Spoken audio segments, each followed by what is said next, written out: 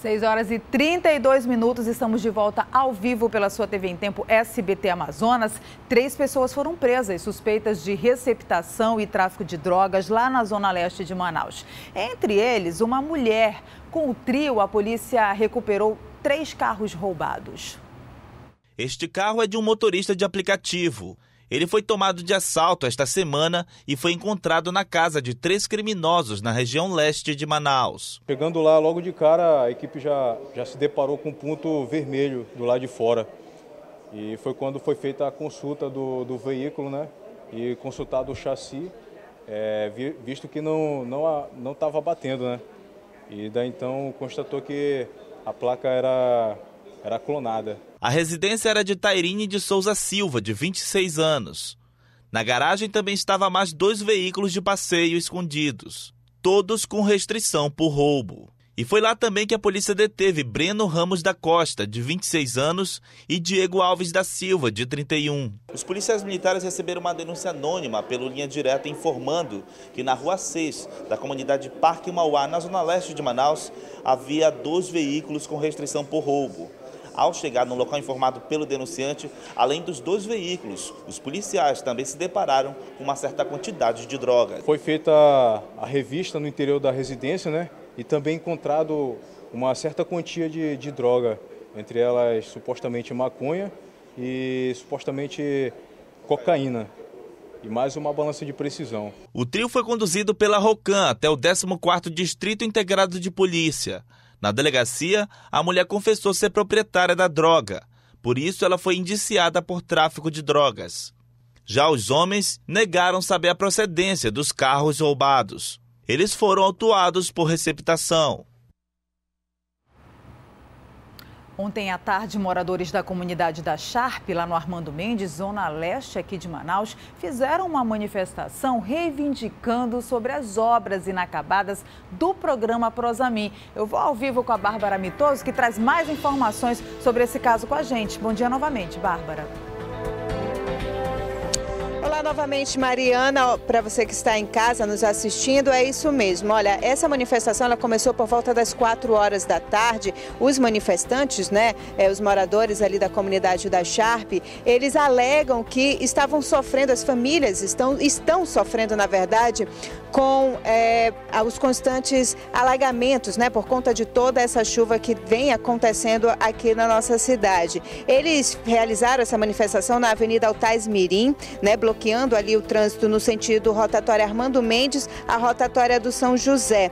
E aí eles realmente estavam reivindicando essas obras inacabadas, né, do Prosami e pediam que alguma autoridade ou ali é, um representante da Secretaria de Infraestrutura pudesse ir até eles, pudessem ouvir as reivindicações que eles, está, que eles estavam é, fazendo, né, que eles ainda é, estão aí é, pedindo para que alguém tome alguma providência com relação a, a esses problemas de alagamento é, nas residências dessas famílias. Então, é, inclusive, teve o, o, diretor da Seminf, né, da Secretaria Secretaria Municipal de Infraestrutura, ele se fez presente ali para poder tentar conversar com as pessoas, porque eles estavam bem agitados, viu, Marina? Inclusive, nas imagens é possível ver que eles até jogam pedras nos policiais, né? E os policiais acabam tendo ali que usar um pouco da força também para poder conter é, essa agitação, né? Para poder fazer com que esses manifestantes se acalmassem e liberassem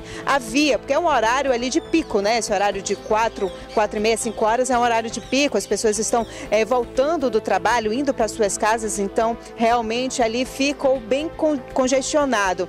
E aí tiveram que usar inclusive é, bomba de efeito moral, né? É, você percebe até que a pessoa que está filmando, né, que estava presenciando tudo aquilo, ainda tem ali, tosse um pouquinho, né, por conta dessa fumaça que sai. Enfim, foi realmente uma manifestação para que eles pudessem ter, ser ouvidos, né? Foram ouvidos e aí a gente espera, a gente vai continuar acompanhando para ver qual vai ser o resultado né, de toda essa manifestação, se eles vão ter suas, reivindicações ouvidas. Volto com você, Mariana. Obrigada, Bárbara, pelas informações ao vivo. Daqui a pouco eu volto com você também com mais notícias. notícias.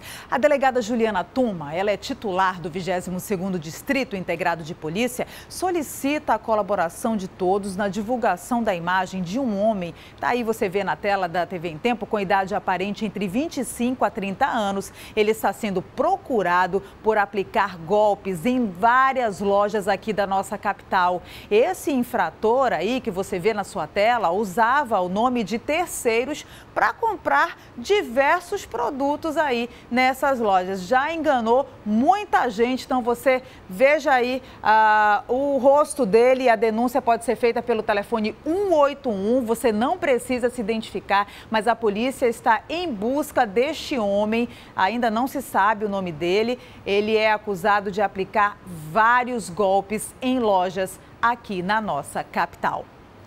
Será que vai chover ou vai fazer sol? O tempo amanheceu meio nublado nesta sexta-feira, né? Vamos ver a previsão para hoje?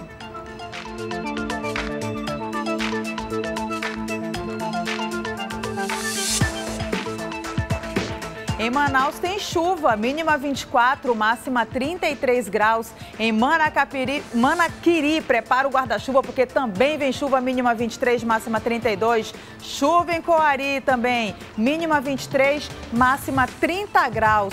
E em Urucará, eita, chuva com trovoadas, mínima 23 e máxima 33 graus. Agora a gente vai para Parintins para saber como é que está a situação lá. A cidade é quente, mas ultimamente tem chovido bastante, não é, Rony Belchior? Conta pra gente. Olá Mariana, olá a todos, olá você que acompanha os 6 horas de notícias. Eu estou próximo à ponte que faz a ligação entre os bairros União e centro da cidade. bairro União fica na zona sul, é onde nós estamos exatamente neste momento. A ponte é bastante movimentada desde as primeiras horas do dia. Agora falando de tempo, segundo o Cipan, em Parintins, a sexta-feira está com previsão de nublado parcialmente nublado, com chuvas em áreas isoladas. A máxima para essa sexta-feira é de 33 graus e a mínima de 24 graus. Agora o final de semana também promete é, ser meio nublado na cidade, tá bom? Sábado nublado, possibilidade de chuva e o domingo com um pouco de sol em Parintins, Mariana. Bom final de semana para você. Obrigada, Rony. Bom final de semana para vocês aí em Parintins também. Olha o que eu tenho na minha mão, o par de ingressos para o Samba Manaus. Olha como esse par foi cogitado. Muita gente mandou aí os vídeos para gente, dizendo aí as três atrações, pelo menos três atrações do Samba Manaus, que acontece já amanhã na Arena da Amazônia. E nós já temos a vencedora desse par de ingressos que está aqui na minha mão. É a Clícia do Japim, não é isso, produção? A Clícia do Japim foi quem ganhou aí o par de ingressos, mandou o vídeo pra gente ontem, dizendo aí três atrações do, do Samba Manaus. Vamos ver? Oi, Mariana. As três atrações que vão estar no Samba Manaus é o Belo, Ferrugem e Tiaguinho. Ah, eu quero muito esses ingressos. Me dá, por favor, para meu marido. Meu aniversário é domingo vai comemorar o aniversário já no Samba Manaus, lá na Arena da Amazônia, né? Virando a noite aí, cantar o parabéns à meia-noite na Arena. Muito obrigada, Clícia, por mandar o vídeo pra gente. O par de ingressos é seu, viu? Você passa aqui com a gente na TV em tempo e aí é só curtir amanhã o Samba Manaus. E muita gente também mandou vídeo pra nós falando qual é a Manaus que quer pro futuro. Vamos ver?